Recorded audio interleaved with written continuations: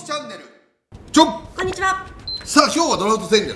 ソフトバンクホークス。はい。ね。ソフトバンクはですね、まあもうピッチャーやな、確実に、一巡目はもうしかも即戦力な、もうやっぱ今年見てても、ピッチャーおらへんもんな先発のこの、走らないもんね。はい。毎日一緒。大体。で今有原投手が、まあ、2桁いくかもっていうぐらいになりましたね。うん。一番安定してるかもしれない。うん6月ぐらいから合流して、でもねどっちかっていうとベテランの域入ってきてるから若い息のいいのがいなかったら今後もね、ホークスっていうところであれだし。はい。ホークスの、まあこの俺が仕入れた情報なんだけども、はい。150キロ以上全員投げろっていうらしくて、まあ、俺の取材によると、まあ、本人に聞いてないから分かんないけど、はい。森ですら森、150キロ投げろって言われてたらしくて、うん。いや無理やん。もう一軍に上がるのが150キロ投げるのが目安みたいな。さすがに和田投手には言わないですよね。それはもう実績あるからね、はい。だからだから今の下の人たち和田も一あ軍だから。そっかそっか。2軍とか3軍にいるピッチャーたちは全員150キロ投げる。それが1軍に行くノルマみたいな。へえだから多分大竹が阪神で優勝した後のビールかけかなんかで、か優勝会見かなんかで言ってたことがあって、でそれが阪神っていうチームはフォアボール出すなと、で制球重視やと、ストライクしっかり取れっていうのをずっとやり続けてたから、自分に合ってましたって言ってた。あだからやりやすかったですって、俺はそれを知ってたから、ん。それ合わせると、だ多分大竹にも150キロ投げろって言ってた可能性あるね。だそこはクリアできないからから一軍に上がれないっていう。いう。だから俺はね、そこの方針転換が必要やと思う。正直そのいその育成するにあたって、はい。だから分かんないよ。俺はだから一軍の試合見てた。らだから球は速いけど、ストライク入らへんやつがいっぱいいるんちゃうかっていう。あで結局困っていくっていう。だからそこをちょっとね、はい。チームの方針をちょっと変えていかないと、はい。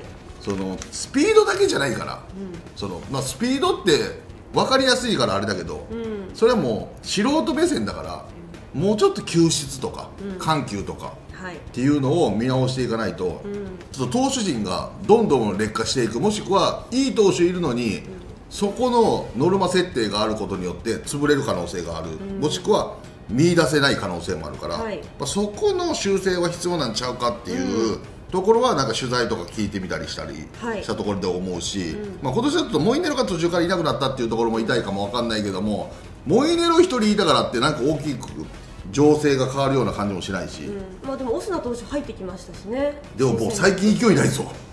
この終盤。普通にスコスコ打たれてるもんな。ちょっと危ないもんね。若干。まあ補強はしましたけどね。で野手もなんか同じような選手しかおらへんやん。途中からやけど川瀬三森周東みたいな柳町生見上林みたいななんか右投げ左打ちばっかりみたいな。同じしかも同じようなタイプで。で右は野村勇野村大輝大丈うん大地増田正木佐藤。若干こじんまりしてるやつしかおないや。んまあ、まだ突き抜けた人がいないですからね。いやこの個人その体格が体格とかが。こじんまりしたやつしかおらへんし、はい。ピッチャーは150キロ目指して野手はこじんまりみたいな感じになってるから、そこら辺もどうなんやっていうところもあるけども全体的にはもう先輩ピッチャーの先発の即戦力やな、これを一歩間違ったら3人ぐらいいくぞ、上位から。でも野手もいるよな。だからマッチとかみたいな。サードおらへんし、まあ、栗原怪我してリチャードももうボールしか振らへんしな、がおらへんもんな。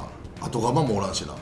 後に来んのがそのね野村2人とかあと川瀬とかだもんね、外野も。だからもうギータとかおらんくなったらもう終わるもんな。でも1位はピッチャーやな、はい。俺もうソフトバンクが取りそうなのもう知ってんねん俺。私はもう決めてます。僕も知ってます。知ってんの？はい。第1回戦隊希望選手ソフトバンクホークス。細野晴樹。投手。東洋大学。やっぱり球速いのが好きやから、確実に、うん。俺はもうこう行くんちゃうかっていうはい。1位で即戦力。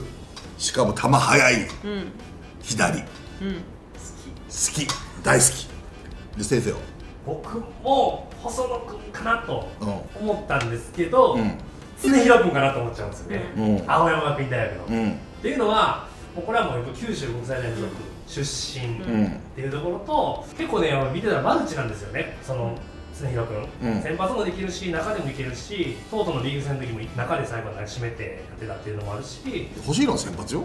どっちでも効くんですよ、うん。見事155キロ、うん。コンスタントにやっぱ出てたし、ん。荒れないっていうか球うん。が荒れないのは僕は常広君かなと思うので、常広君じゃないかなと。もう細野君が常広君がどっちかだと思うんですけど、俺は何気にね広くんです。このね草角へえこれもいいよ。アジア。これいい。東浜からの。うん。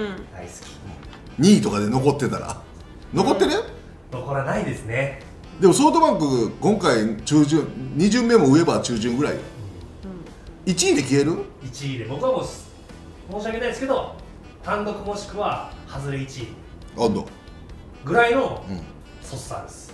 もう実際見てきましたもん。うん。神宮まで行って、うん。うん。うんスカウトの熱の入りようは、これは消えると思うもう1巡目で消える。はい、どこの球団かはね、まだ他の動画見てもらえたら分かると思うんですけうんうんうん。あとはいや何気に上部台の振動とか取りそうやな。キャッチど、ャキャッチャー、ー何気に。トライチ、ドドライチじゃないよ。あ3位ぐらいで3位以外、うん。何気にキャッチャー行きそうじゃない？他のキャッチャー陣どうすどうすんのってなるんですね、いやだからこっからのだから現役ドラフトとか乗るかもわかんないよね。そういうことですよね、うん。でもまああのー渡辺陸とか谷川原とかははい、コンバートいけるかまあまあ確かに、バッティングいいですからら、ね、うん、外野にね。っていうとこ考えたらもう思い切って長距離砲おらんやん。はい、だから谷川原ともう渡辺陸を完全コンバートさせて。はい、でキャッチャー取ってくるっていう線あるからね。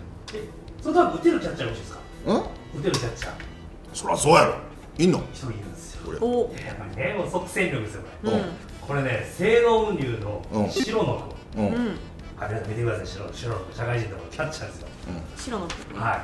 これね、ジャパン、ジャパンのキャッチャーなんですよ。うん社会人。うんスイング鋭い強肩捕手はい。これも競合かなと思ってるんですけど、守備型って書いてるけどバッティングがいいんですよ。そうなの？まあ先生直接見に行ってるからねこれはいいですよ。え？2試合をまたいで5打席連続ホームラン記録だった5打席連発なんですよ。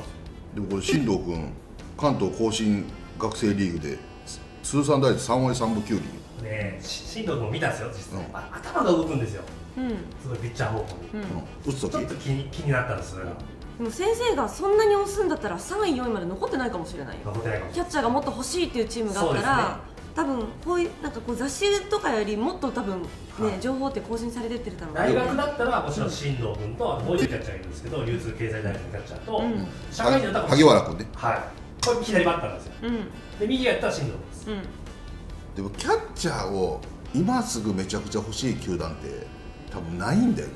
もう強いて言ったらもう楽天だね。確かにね。でハムはいらないじゃん。巨人もいらんやろ。で d n a もいらんやで中日もいらんやろ。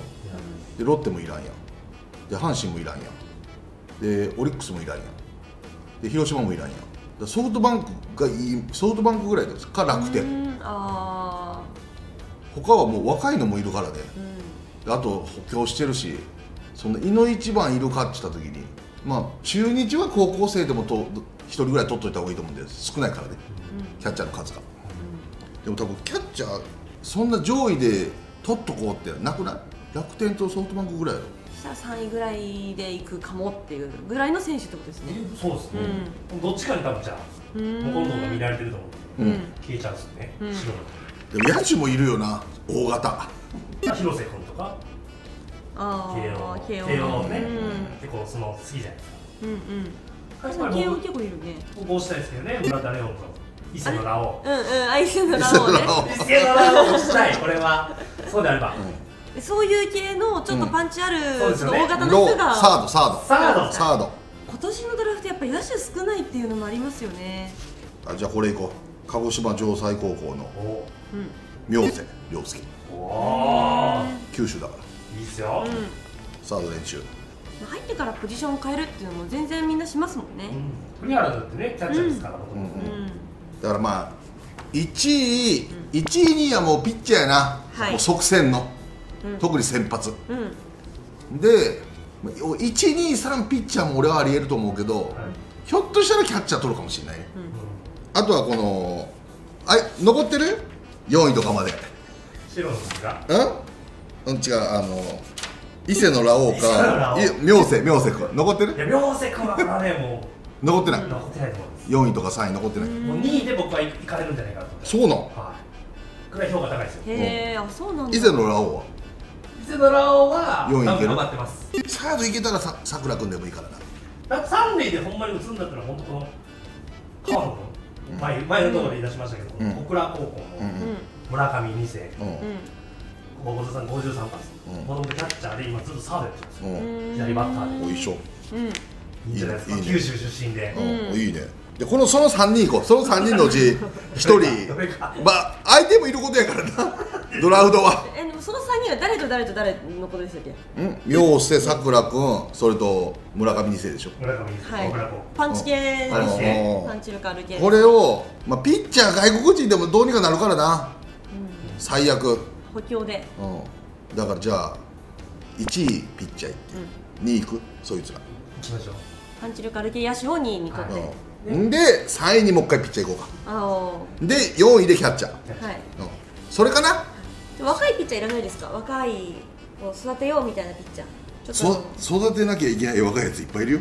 はい、風間とか、うん、いやあの私はもう地元枠を、うん。地元応援枠なんで、うん、はい。ソフトバンク？ソフトバンクに。入れたい入れたい。はい私古川学園の今野一成君っていう、いるんですけど、うん。あのソフトバンクの評価、うん。満たしてます。150キロ投げます。高卒で153キロマックス。高卒で今このぐらいなんでまだまだ体鍛えていったら絶対そのソフトバンクの150キロっていうところは行ってくると思うんですよ、うん。でも小柄で170センチ83キロなんですけど、うん。まあ、すごく馬力があるタイプらしいんですね、うんで全然注目されてなかったんですけど、うん。あの日本ウェルネス宮城の大内君っていうプロ注目のピッチャーがいて、うんうん。夏の大会でその子と対戦したことによって今野君がいいピッチングしてうん。スカウトが結構また注目してるらしいんですけど、渡辺西武の渡辺 GM とかも、馬力があっていいピッチャーだって、うん好きな投手は平海馬投手らしいんですけど、いうん、じゃあ西武に取っといた方がよかったんじや西武の動画終わっちゃったしなあのプロ志望届出したばっかなんですよ。出すの分かんなかったんでそうなんです。そこの情報が少ないですもん出す出さないが 私たちこの動画撮るの早すぎるんですよ。そうなんです。ゃんいやいやだってもう取らないともうだってもう出してるからね、ん。どんどん、まあそうなんですよ。間に合わないから。プロ志望届が出たんで、うん。あじゃあいけだから西武に本当はちょっと押したかったんですよね。西武ね、うん。西武ってもうソフトバンクの回だけど西武でそうですね。あの平投手が好きらしいんでいい。はい。まあ、そこだね。だからまあ、ピッチャー内野手高校生、ピッチャーキャッチャーか。はい。ここの要因はピッチャーと大型内野手と、まあ、キャッチャーは俺は取っといた方がいいと思うんだよね、正直ソフトバンクは。ソフトバンクって育成、まあ、毎年結構取るじゃないですか、うん。なんか去年先生が育成とかでももう超隠し玉みたいなの当てたりするじゃないですか、うん。そういう人いないんですか？千賀クラス？うん。セガクラスいんの？千賀クラス、うん。でも育成って言ったら叩かれそうなんですよ。育成なんかそんなの失礼やん支配から取れって言われそうなん。ですようんああなるほど。そんなんいいの？いいのがいいんですよ。お。えじゃあ育成じゃないかもしれないけども隠し玉的な？ですね隠し玉でまあ僕がちょっと密かにちょっと注目してるのは、聖カタリナうん。うんうん高校ってあるんですけど、うん。オリックスで正直言おうと思うんですけど河内君っていうんですかね、うん。この子は素材はものすごいものなんですよ。じゃあオリックスの時もう一回言う？でオリックスかなと。いやオリックスも取りに行くんじゃないかなと言われてるんですけど、大阪出身の子なんであオリックスか阪神かなんかがその辺でちょっと近いで取りに行くんじゃないかなっていうところと、まあ、身長180があって、まあ、まだまだまだやっぱこう体がうん。やっぱできてこなきゃいけないんですけども、マックスな150キロと。支配下でもし無理な場合は隠し玉で千賀クラス。間違いなく。懐かしいねなんか千賀クラス。千賀クラスね、うん。が来るんじゃないかまあでもねうん。ソフトバンクはでもそこだね。うんでもやっぱ応援してあげたい人を応援してる人をねこうやって言っていきたいですよね。あとは見てくれるかもしれないし。あと最後にね、13回目に仮想ドラフトやるんでね、はい。それでね誰がどこのチームに入るか,、だから2巡目までやろうか。いいっすよ仮想ドラフトね。ウェー。バーで。ウェーバー2巡目までやろう。2週目までですか？はい、だからぜひねそこを見てもらいたいと思いますけども、まあ、ソフトバンクはそんな感じかな、でも絶対やっぱ即戦力ピッチャーだね、はい。ということでホークスファンの皆さんどう思いますか？